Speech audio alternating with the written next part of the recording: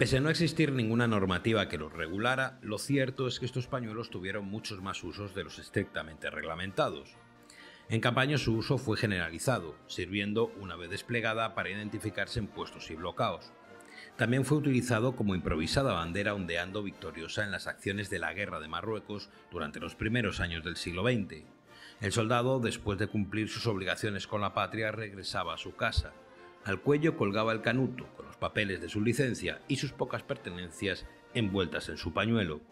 Este pañuelo con los colores de la bandera española le acompañará hasta su hogar sirviendo para engalanar los días de fiesta los balcones y ventanas de muchas casas de pueblo y ciudades, permaneciendo todavía esta tradición en muchos hogares españoles.